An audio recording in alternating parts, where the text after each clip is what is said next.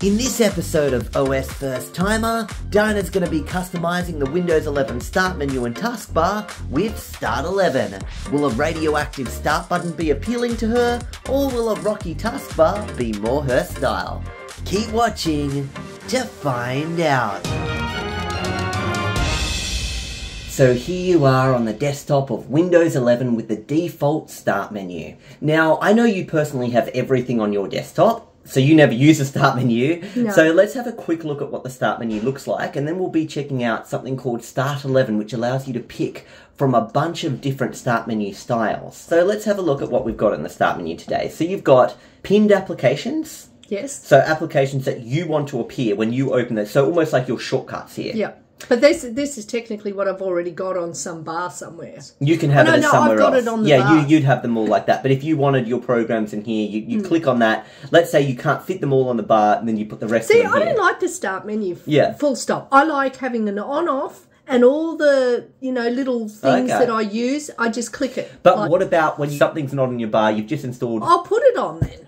But when you've just installed something, you'd go to all apps, and then you'd have to come through scroll because all of these don't fit on the bar, you know. And then you can grab. Well, I and just then you use the on. ones that I use. I put on the bar the Yeah. ones that I use. Okay, and then you've got things uh, here that you've recently done, an on-off switch, and of course, you know, account settings there too. But let's say you don't like that, and you want some new settings. Well, I don't like that, and that's why I've got what I've got. Well, you've got an option, for example, Windows 7 style, and this menu style makes it look like the one in Windows 7. So you've got your programs down here, all programs in there, nice Mm-hmm. easy folder like that, and then you've got things like here, if you want to get to your documents folder, you can click on documents, your pictures folder, I think I do prefer that over the first one. Yeah, the first one felt all over the place. it did. This It felt neat. very scattered. Yeah, exactly. This seems more organised. And this even has links to, you know, if you want to get to, you know, certain things that the other one didn't have. And control panel. Control panel would open. But anyway, even here in this Windows 7 style menu,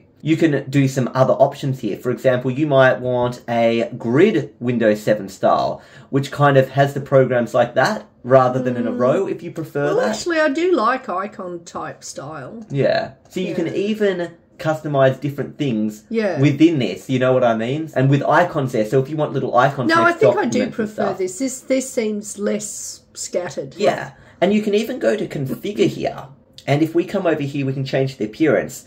Instead of using an automatic color, you can pick a color. Let's say you like a, a, a purplish color like that, a light purple. I do like a You light click OK, and mm-hmm. then it's a light purple. Okay.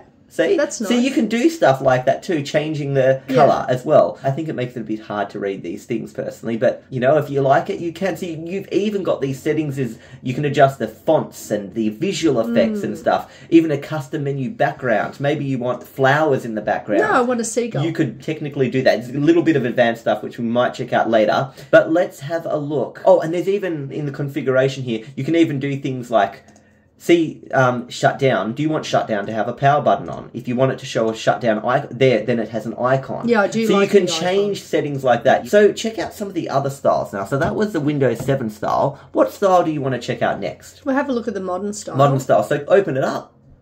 That's what they call a modern style. So it's similar. Yeah. Did you prefer the Windows 7 or you actually like this? No, I prefer the Windows 7 A. Windows 10 style. So let's give this one a go. I hated the Windows 10. Remember the, the weird Yeah, I Wall Street like on one either. side, then your applications on one? Don't like I it. hated that. I was so glad when Windows 11 went with a Hmm. better style. So this is the Windows 11 one with some enhancements. So it's Yeah. got some more customizability, an updated Windows 7 style, uh, Windows 11 style. So there you go. Oh, so this one, I actually like this. So this is the normal Windows 11 Mm-hmm. programs, and then you click all applications to see everything. I like this particular one they've got here, the Windows app style, an updated Windows 11 style, where you've got your programs, and then you And can just scroll straight away Yeah. there, and there's no I clicking an extra that step. too. That's cool too, isn't it? Because Yeah. I like getting rid of the extra steps. It is a little bit more bloated though. There's more stuff everywhere, but I don't know. Having it right there is useful. In, in my opinion. So you've also got a Windows Pro style there. So this is another updated Windows 11 look. Oh, so you've got documents down. You know how you can never find your downloads folder? Mm-hmm. Downloads. There it is. Under is. the You know you can go there. So that's a, a great thing. Uh, Windows launcher style. No, Yeah. I preferred that Oh, other and one. search that, apps at the top. I see that. I yeah. did prefer that other one that had them here and had the scrolling thing. Okay, so you want to set that one as the, the Yeah. thing? Was that that one? Yeah, was this one. Okay, perfect. But I still prefer my setup. I know, I know. This doesn't only change things with the start menu. Let's say you don't like that start button. I mean, who wants four... I, I actually can't find a way to knock this start button. I can't criticize it on camera. But anyway, what you do need to do if you want to change, for some reason, if you want to change what this looks like, mm-hmm. this button, you have to move it everything onto the side. Then we can have custom buttons. I So that's that. Stardock's logo, but you could change it to, let's say you wanted in black and white. No. Let's say you wanted, oh, uh, you like animals, a paw print. No. You don't like paw prints? Okay, have a look at, Doesn't go. have a look at some of the other options you've got. Next one. No. Yeah, I don't like that one either. Oh, that looks like up. Like you click on this, it's going to come up. You know, None of these really jump out to me, I must Yeah. admit. little basic windows. Yeah, but then it's not blue. yeah, I know. But then when you hover over it, it Goes black. yeah. Yeah. Triangle.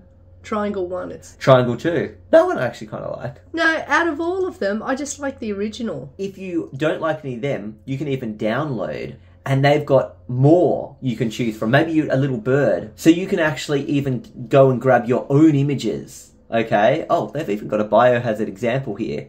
Um, but you could grab your own. Oh, look, biohazard! And you put your cursor over it. Warning, warning, you know. I don't know. know whether I want to put my cursor over that. but think you could actually get your own images, get a bird. Hmm. And you could have a bird that you click on, and that opens everything up. You know what I mean? yeah. There we go, back to normal. Okay. So your taskbar, you can even enhance that. Your open programs can have the words there and stuff. Um, you can choose like rounded corners and stuff. So give it rounded corners, and that's a little floating little taskbar there. It looks a bit more stylish than Yeah, it actually, I Yeah. kind of think it looks pretty. Now you can even pick your own color once again for the start bar. So let's say you want a like that. yeah.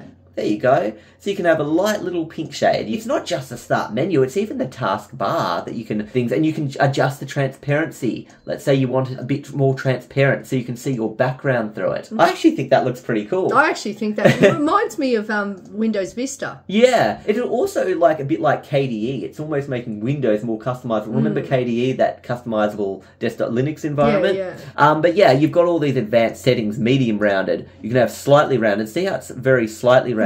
But if you go to, for example, medium rounded, it's a bit It's more. Or you could do like extremely rounded. Or maybe you want maximum rounded. There's like a little curve. See? That's actually quite cool to be honest. What did you like though? Did you like sort of medium rounded or you do like this? Slightly round. Oh, I don't know. I look, I'm not. It's hard to pick now. it's we'll just not leave it on something that I sit there and think about quite honestly. Now, sometimes you want to know how many, se- like, you don't know just looking at this. When's Yeah. it going to be 1 at 18? You don't know. No. But if you turn on the seconds, you've got the seconds ticket, and you will know now when it's going to be 118. Um, Wait, now, guess what? what?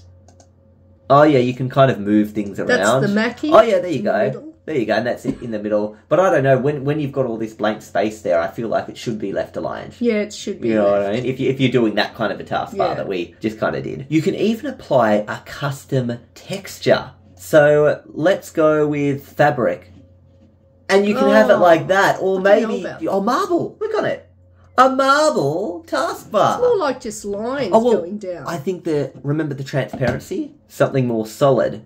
You get what I mean? But it needs to be not pink. It needs to be more white. White? Big white. Okay. There you go. You like it? Well, it's not really. It's just the same line repeated. It's not really like marble. True Yeah. marble has all variations and different sort of grain veins. Okay, well, how about you, Vein. Um, um, Oh, a Rock. rock. I like Oh yeah, a rough rock. Oh, and a rusty metal. You'd make Don't that like- more of a rust, like rusty rusty metal. But yeah, so many different, and even wood No. stuff. Go back to Oh, rock. oh, that's cool. Even in the start menu here, let's say, see all these apps. Let's say there's a certain color that you like. You can go to appearance here. You can even make the background of this like some texture. You custom, you get what I mean. Uh, but you can also make the icons a color. Like, let's say you want them all to be a pink. All of them are pink. No, I if don't you like like that. Yeah, I'm not into that either.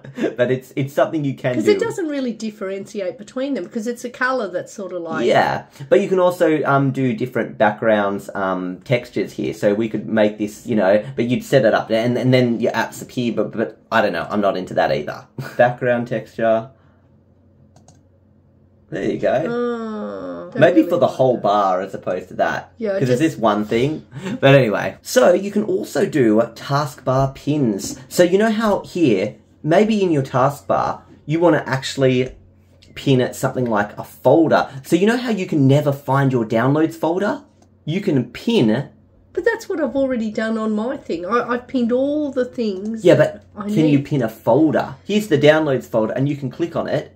And you can access things in your down, and then you can drag them onto your desktop if you want. So that's mm-hmm. another thing you can do. So you can pin files, folders, and even folder menus on your taskbar, which you can't do in the normal Windows 11. Anyway, what do you think of Start 11? Is this a program that you feel adds some functionality, some customizability? Of course, it adds functionality to it, and Yeah. But I've already customised mine. I've got my little on-off switch there on the bottom thing. I've got all the things that I use on that bottom bar, and I've got things I use on that top bar as well. So I already feel that my computer's already customised, and I don't even have this. yeah. So I technically can do without it, but I can see how some people may want to, you know, utilize this and customize the appearance of their thing. But as far as I'm concerned, I personally You don't need it use personally. it because I've already customized mine the way I want it. Exactly. Uh, there is more customizations you can do in this that you can't usually do in Windows 11. I mean, you, all the styles. You don't care about start menus and stuff, No. obviously, because you don't use them. Um, but yeah, there are you know the ability for the folders and stuff, and the look of it, which I don't think really matters to you. Oh, and you can also have the taskbar on the top of the screen. So let's talk about how much this program actually costs. And this is Start 11. This is their website on Stardock, and you can see the price. You Yeah. pay fourteen dollars once. For your whole life, Yeah, and you own rather it. It's than not- a monthly fee. well, they do have a monthly fee option. You can get this for sixty-eight a year if you want. But why would you No. do that if you could buy fourteen dollars outright? No, no, no, no, no, no. But this is uh, a subscription to Object Desktop, which includes a dozen different programs instead of just this one. Um, all these different programs it includes. We can try some of these out next time. Um, But the thing is, if you if you subscribe to that and you customized your thing, yeah, then the you have to keep paying for it. In order to keep that look, you have to keep paying for it. That's right. Year. I don't. I like wouldn't. that. One of the things is Deskscapes, and Deskscapes allows you to set a video as a desktop background, so you could have an animated bird They See the waves rolling and stuff on your desktop. You Hmm. But see, that's just like a uh, wallpaper that's moving. yeah, exactly. You can have those. You can't.